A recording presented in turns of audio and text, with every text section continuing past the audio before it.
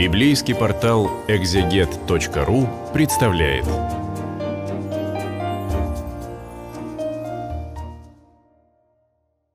Здравствуйте. Это видео для библейского портала экзегет.ру.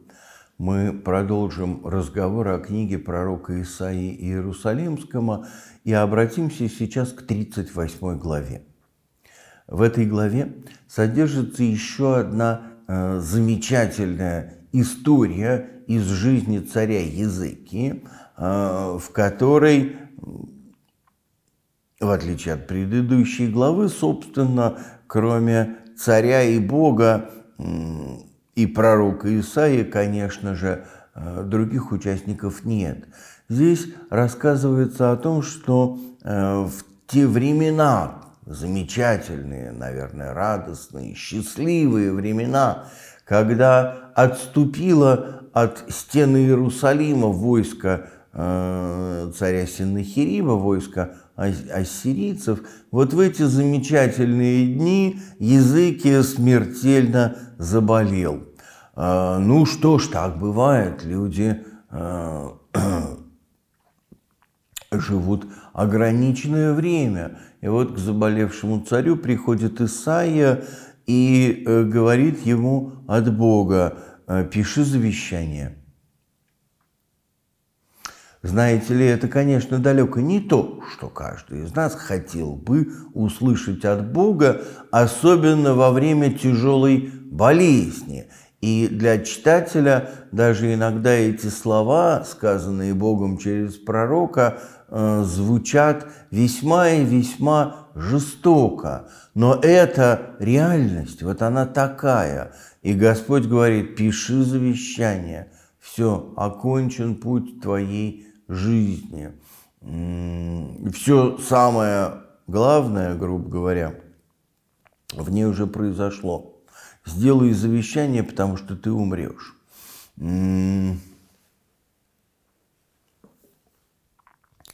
Вообще говоря, наверное, каждый читатель пытается примерить на себя это. И это полезно делать. Потому что если, как принято в современном мире, делать вид, что ты бессмертен, ну, ты выпадаешь из реальности. Надо э, понимать, что любая человеческая жизнь ограничена рано или поздно это произойдет. Э, не то, чтобы прямо к этому требовалось специально готовиться, может быть и нет. Или, как в случае с языки, уже поздно готовиться, надо только завещание писать. Но э, помнить, помнить об этом, принимать этот факт. Бог бессмертен, а мы нет. Э, и в этом нет ничего, так сказать, необычного или пугающего, потому что если отношения с Богом существуют, то, в общем-то, это и будет, наверное, для нас э, не так чудовищно страшно, как для языки. Обратите внимание, что в том, как ведет себя царь языки в этот момент, конечно же, проявляется то, что он думает о смерти и посмертии. А думает он скорее во вкусе позднейших авторов, там, как Экклезиаста. Думает он э, главным образом, что после смерти все заканчивается. В лучшем случае смерть и Шеол, преисподняя – это какое-то такое место, из которого нет возврата, где нет никакой жизни, где мертвый не будет славить тебя, как говорит Псалом. А, вот так воспринимает царь Языкия свою смерть как нечто неизбежное, и в то же время э, порог, за которым ничего нет, только иногда смутные очень надежды на то, что Бог всесилен и властен в том числе и над Шиолом появляются, но э, практически нигде, ни в каких письменных документах в эту эпоху это еще не фиксируется.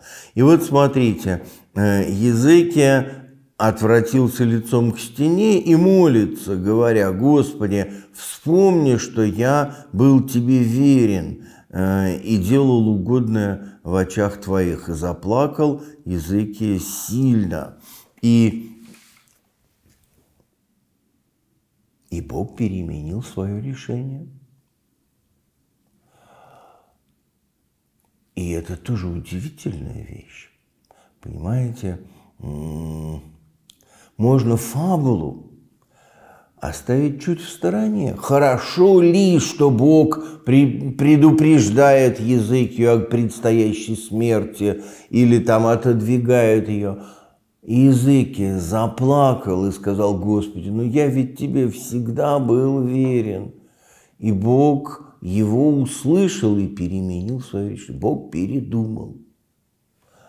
Вот так бывает, оказывается. Значит, э, наша молитва и наша верность Богу – вещи не бессмысленные и не безнадежные, потому что Бог слышит и иногда э, соглашается изменить свои планы по молитве, по просьбам людей. Странная ситуация, казалось бы, ну всемогущий не, не, не похоже, чтобы так относился к нашей молитве. Вот так, вот так. Языкия молится, и Бог э, посылает снова к нему Исаию и говорит, «Пойди, скажи языки». И так говорит Господь Бог Давида, отца твоего, «Я услышал молитву твою, и вот прибавлю к дням твоим 15 лет» и защищу тебя от царя Ассирийского, и город сей защищу. А, и Бог говорит, хорошо, услышал тебя, вот тебе еще 15 лет. Не сказать, чтобы очень большой срок, но для умирающего это очень большой срок, конечно же. И более того, э, книга Исаии свидетельствует о некоем знаке, Э, что вот солнечная тень э, возвратилась на 10 ступеней по лестнице, эм, по которой сходила эта солнечная тень. Ну, эм, загадочное э, сообщение, которое, пожалуй, и не стоит комментировать. Гораздо важнее, что язык таки выжил действительно выжил после этого. И вот царь молится и славит Бога. И, конечно же, слова, которыми молится царь языки, слова, которыми он благодарит Бога э, в своем выздоровлении, эти слова тоже совершенно замечательные. Вот он говорит, я должен был в приполовении дней моих идти во врата преисподней, и говорил, не увижу Господа, Господа на земле живых. И вот он славит Бога за то, что Бог отвратил свое постановление и продлил дни жизни царя. И здесь есть некоторый существенный контраст с предыдущей главой. Потому что в предыдущей главе, где царь рассказывает Богу про кощунство ассирийского фараона, он никаких подробностей не приносит. Он говорит, Господи, ну ты видел и слышал, все эти слова. Все. Царь говорит, откликни, сделай так, как ты считаешь нужным. А там, где он благодарит Бога, он старается это делать по возможности конкретно, по возможности с применением поэзии. Вот эта молитва царя языки, действительно замечательный поэтический текст, где царь не халтурит в своей благодарности. Он не говорит, да-да, спасибо, спасибо, все хорошо, едем дальше. Нет, вот он действительно всю силу души вкладывает именно в то, чтобы совершенно конкретно поблагодарить Бога за произошедшее. И это тоже очень э, поучительная для сегодняшнего дня вещь. Современные христиане обычно подробно расписывают Богу свои грехи, какими продуктами они что, какие установления нарушили, и сколько было порций этих продуктов, и как они были приготовлены, что, в общем, совершенно ни зачем не надо. Когда же дело доходит до того, чтобы поблагодарить Бога, у нас буквально язык в глотку затягивает, и нам очень трудно выдавить из себя хотя бы одно э, конкретное слово, э, а уж наполнить его силой духа своего для нас вообще почти нерешаемая задача. Поэтому, повторяю, так важен пример царя Языкии. Э, он говорит о происходившем, э, подобно льву, он сокрушал все кости мои, день и ночь я ждал, что ты пошлешь мне кончину. И вот он говорит, Господи, тесно мне, спаси меня. Э, вот. И тоже очень важно, а, царь говорит в этот момент, ну а что мне с другой стороны говорить? Вот Бог как сказал, так и сделал. Он сказал, он и сделал. Царь признает власть Бога над собой и признает то, что Бог может поступить так, как он считает нужным. Да будет воля твоя на земле, как на небе, как учит э, Господь Иисус Христос своих учеников молиться.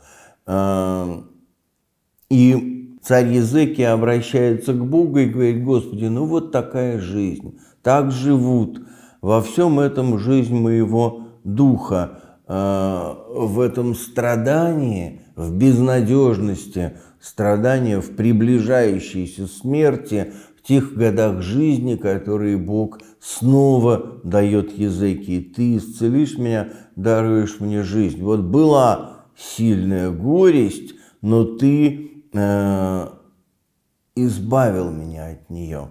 Вот э, такая человеческая жизнь. Э, так живут и во всем этом жизнь моего духа, вот в этих отношениях жизни и смерти с Богом.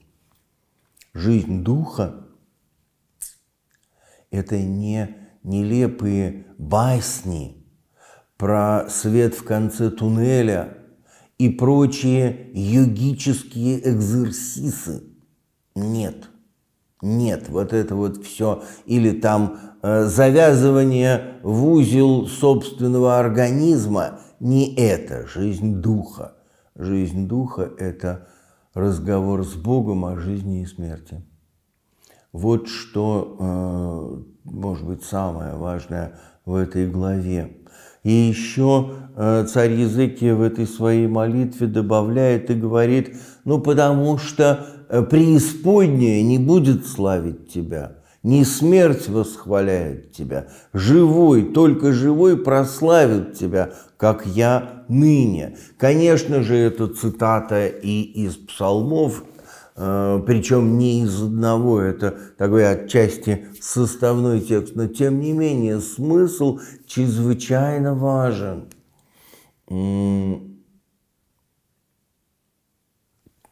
Здесь говорится о том, что жизнь духа, настоящая жизнь духа, это диалог с Богом э, на грани жизни и смерти и о том, что такое жизнь и что такое смерть, да, вот это вот, Господи, так живут, и во всем этом жизнь моего духа. И эта жизнь в том, чтобы Бога славить. И живой прославит Тебя, как я ныне. Значит, для царя вот эта благодарность Богу, прославление спасающей десницы Божьей, это и есть настоящая полнота жизни и жизни э, духовная. Поэтому он, собственно, и воспевает эту песнь Богу. Но э, еще, конечно, невозможно не обратить внимание на эту чрезвычайно важную идею, надежду, я бы сказал, ветхозаветных авторов. А, Бог живет среди словословия Израиля. А, подлинное, правильное отношение к Богу – это в первую очередь хвала. И, собственно, в этом жизнь, которую Бог дает. И поэтому люди очень часто надеются, надеются на Божье помилование, на спасение, потому что только живые они смогут воспевать эту хвалу Богу.